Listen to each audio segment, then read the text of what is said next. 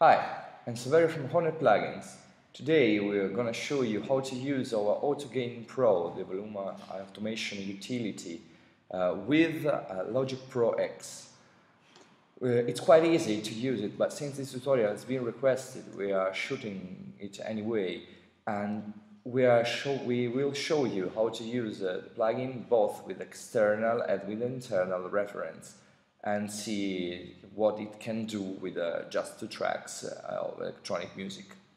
So, here we have our small project, we have two loops, one is a, a 4 on the floor kick and the other one is a 3, 303 uh, acid uh, sound.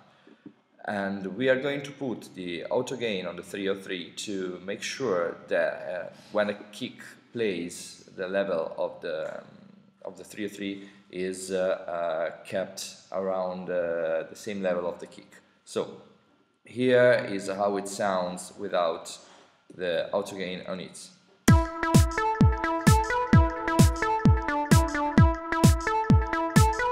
So you can hear it's pretty dumb.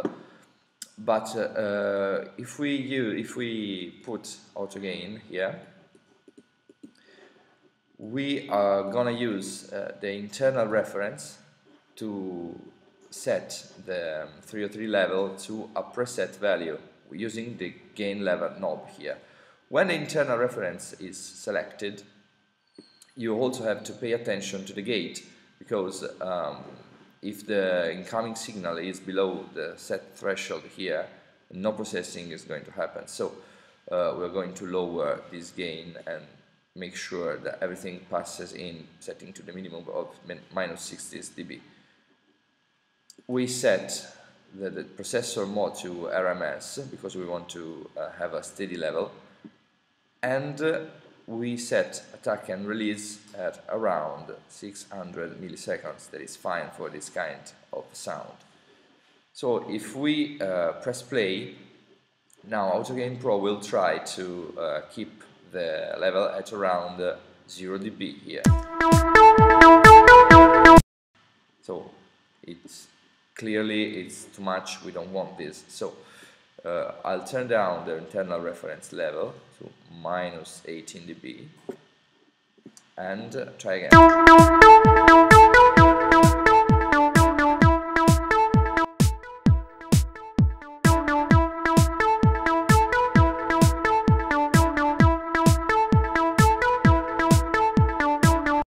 See we have a very little movement here because we're using the RMS mode, but um, the AutoGain Pro tries to keep the sound as stable as possible, uh, working both as a compressor and expander together. And if we use peak, the movement will be much more faster here.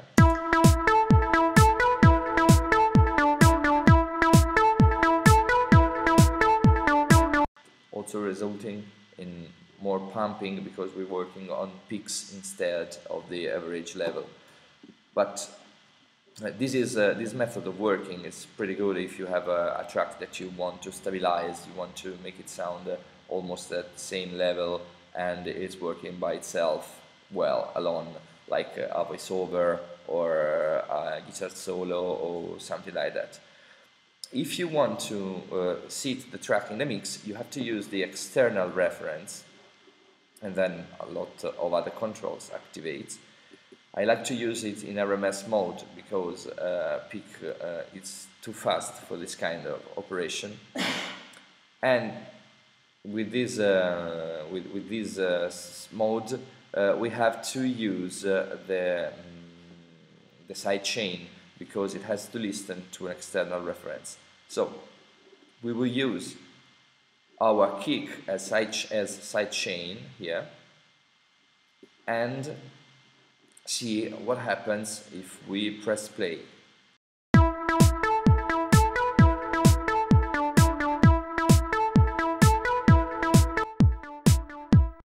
So you see that the gain is almost uh, even because uh, the sound is uh, so uh, steady that working in, RMS mode you have to lower the gain to keep it at the level of the kick. So we can try to speed up operation using a faster attack and release. We go up down to 10 milliseconds and see if it works differently.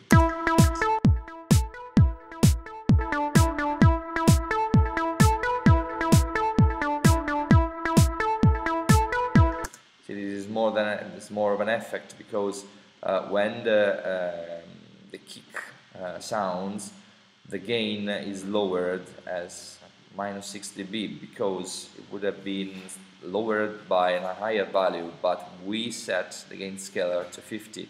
If we set to 100% here, it should go down to minus 12.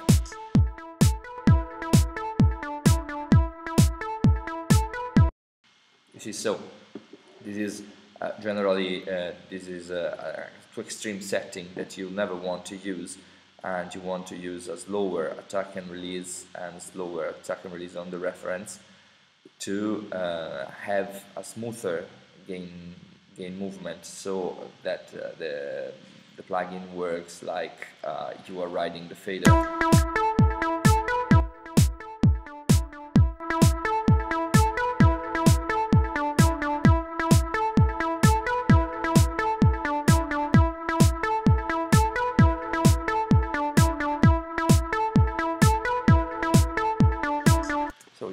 This is a pretty good setting for gain leveling here. Uh, if we want to have fun, we can use the reverse mode that instead that reverts the gain, the applied gain. So instead of decreasing, we are now increasing it, and we can work in peak mode and uh, uh, with faster attack and release and see what happens.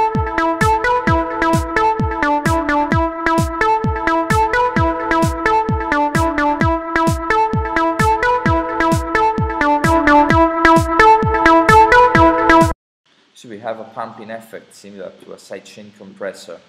Uh, if the controls the AutoGain Pro provides are too much, you can use the classic mode that make it works like the original AutoGain.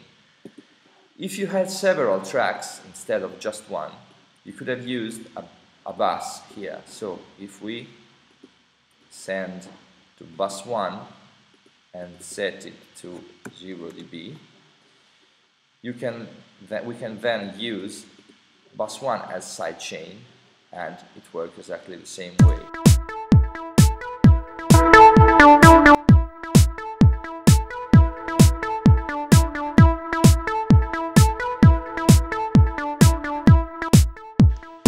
So this is how AutoGain Pro can work with Logic Pro X. So uh, this plugin can be found on www.hornetplugins.com. So you can go there, download the demo, and let us know what you think about it. Thank you very much for watching.